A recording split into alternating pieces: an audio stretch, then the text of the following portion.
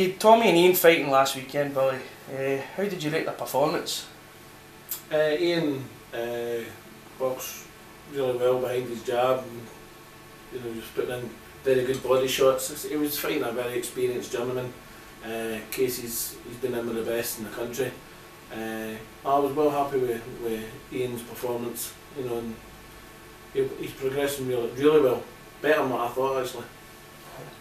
Um, I see Tommy has already signed up to fight uh, McCallum in October after some Twitter exchanges. Uh, how do you see that fight going? I think it's a good fight for both boys. Uh, you know, there's, Twitter's just a bit of banter on Twitter, isn't it? But uh, well, Tom, Tommy, Tommy's right up for the fight. I mean, I personally think he wins the fight by stoppage and quite comfortably as well. Uh, John's John's been saying that you know he, he's this that and the next thing. He thinks he's worthy of domestic fight now. Well, he's now he's got it. So you know it's, it's worked out well for both guys. Big fight for Edinburgh. So if, if, if John McCallum's got the skills that he says he's got, let him prove it. Yeah, just when you was actually saying there, I mean to ask you that, is like how many fights seem to be made on Twitter nowadays? Eh? It's, it, it's been brilliant, you know. I It's know, like, it's, it's good, it's good. There's, there's no meant to be any malice or nastiness in it. It's just a right good fight for both guys. Uh, uh, at, at, but it's kind of the same stages of their career now. One's 10 and 1, one's, I think it's 9 and 0. yeah. But Tommy's coming down for light heavyweight.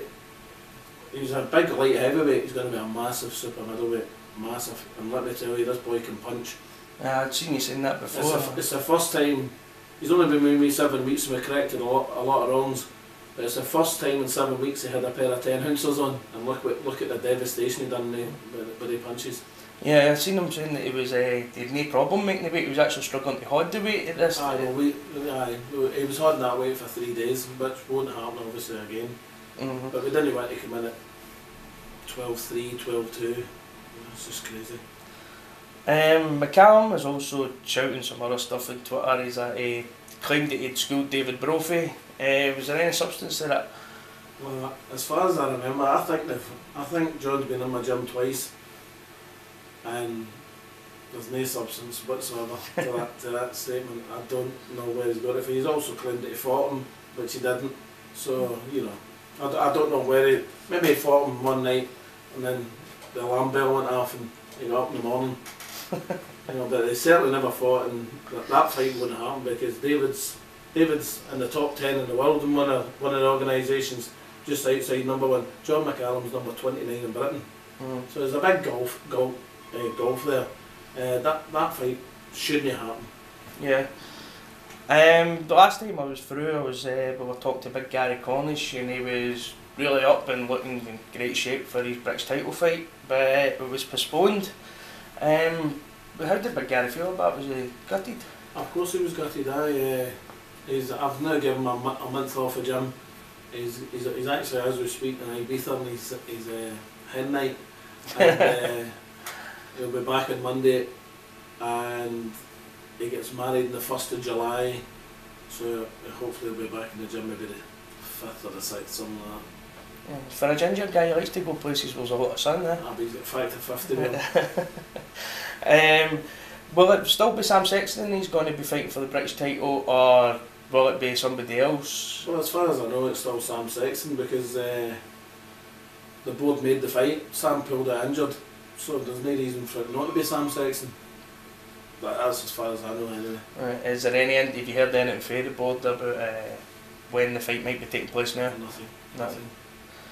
Um, a few weeks ago, I'd seen you and Dave Allen having a couple of exchanges uh, about Big Gary Cornish, about remarks he'd made to Sky Sports. Uh, would that be a fight you would like to see made in the future? Or?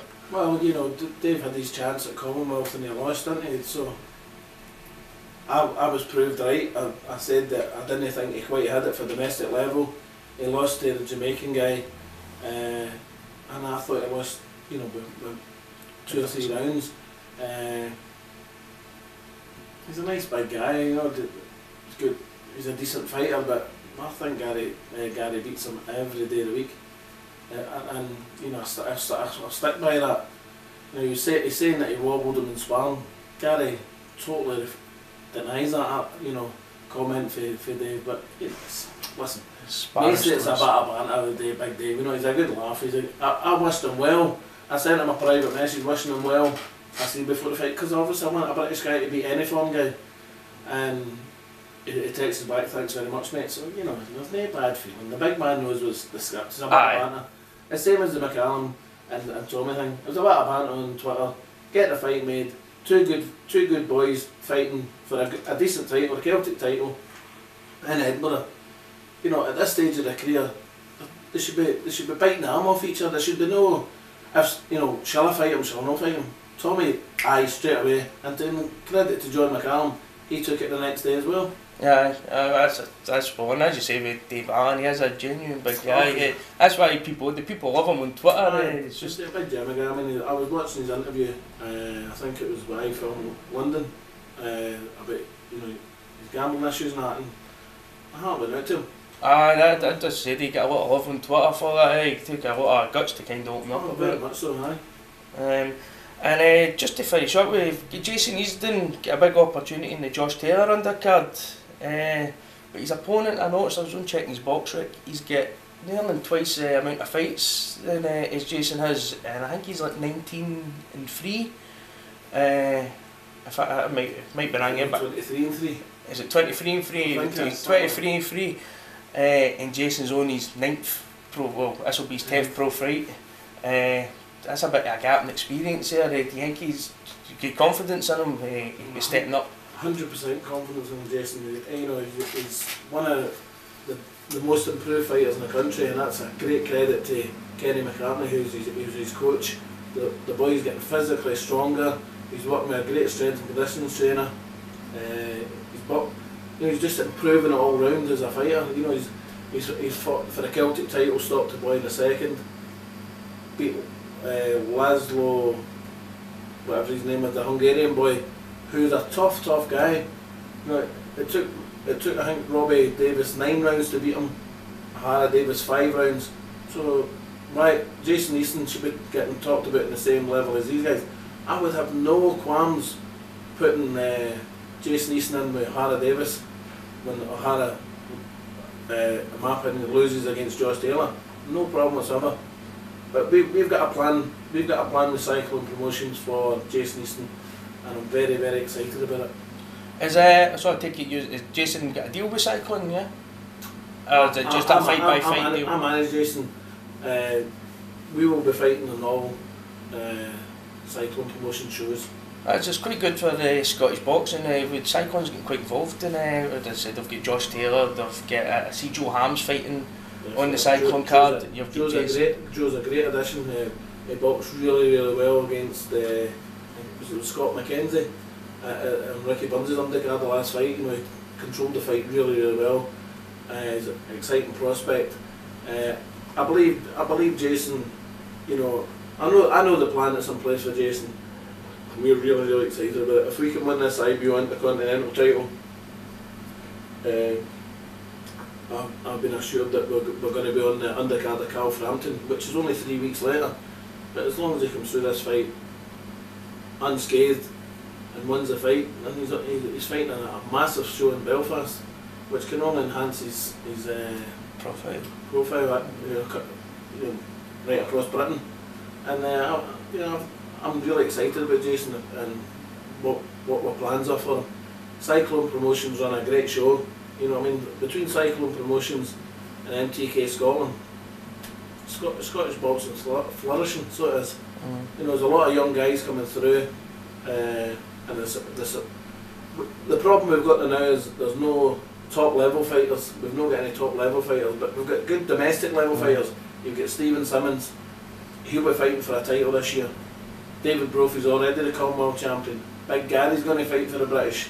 Jason Easton, he's fighting for IBO Intercontinental. You know, and hopefully there'll be other titles in the pipeline. Uh, you've got likes of Joe Ham coming through, Lewis Paulin, Lewis Benson's a good wee fighter, Stephen Tiffney. There's a, there's a lot, a lot of good fighters. Tommy Philbin, Mm. John McCann.